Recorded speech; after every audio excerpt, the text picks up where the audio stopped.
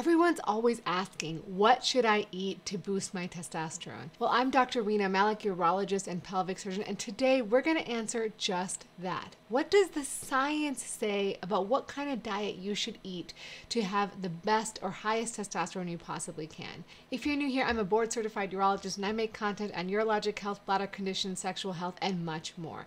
Make sure if you like what you see, you subscribe and share this channel with your friends.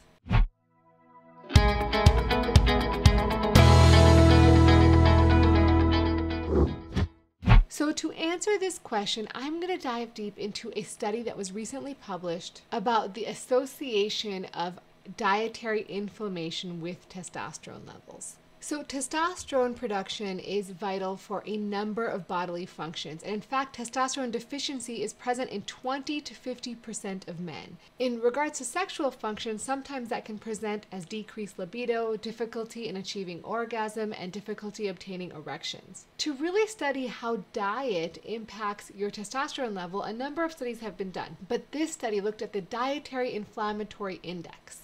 And what is that? So it's a scoring algorithm that takes the food you eat and assigns it a score based on how inflammatory is it? Is it pro-inflammatory or anti-inflammatory? And it determined these scores by looking at a number of studies that were done comparing certain components of food with the way our body reacts to them, certain inflammatory markers in our blood and how they increase or decrease based on the consumption of those things. In this study, they looked at a national survey called the National Health and Nutrition Examination Survey. This is developed by the National Center for Health Statistics to look at the health and nutritional status of U.S. adults. And this data consists of surveys that were filled out by people as well as certain blood work and other measurements that were taken. And in this study, they looked at men over the age of 20 who completed a 24 hour dietary history or journal of everything they were eating and got their testosterone levels checked. And this study included 4,000 men. And what they found was that men who had the most pro inflammatory diet were 29% more likely to have testosterone deficiency compared to those who had the most anti inflammatory diet. If those men were obese, that number went up to 59% higher. So, how does inflammation actually impact testosterone production? Well, when you have inflammation, you have higher levels of inflammatory cytokines or chemical messengers in the blood. And this blood creates an environment where there are lots of reactive oxygen species, particularly in the testicles. And the testicles need a very specific environment in order to perform optimally and produce testosterone. So, while this study doesn't specifically link causation, meaning that eating a pro inflammatory diet doesn't necessarily cause testosterone deficiency, it's certainly correlated with it. So, what kind of diet should you eat?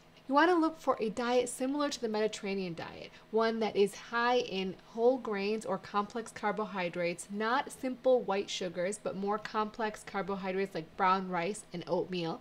And you want to include fish, fruits and vegetables. You want to include a moderate intake of things like olive oil, and you want to avoid butter and red meats.